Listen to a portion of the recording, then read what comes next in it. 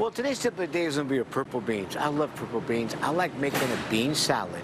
I just like to boil them or steam them and then saute them with olive oil, a little bit of salt and pepper. At the very end, add some fresh cherry tomatoes with yellow beans, the wax beans, yellow beans, and green beans. Three colors, different textures, different flavors, all in the bean family. It's a wonderful side dish.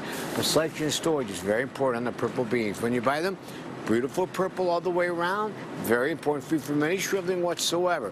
When you bring them home, store them in the refrigerator right away.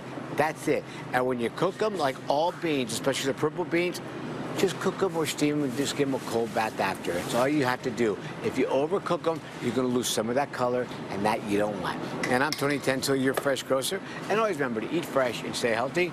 And purple beans just are fun to say. I mean, purple beans.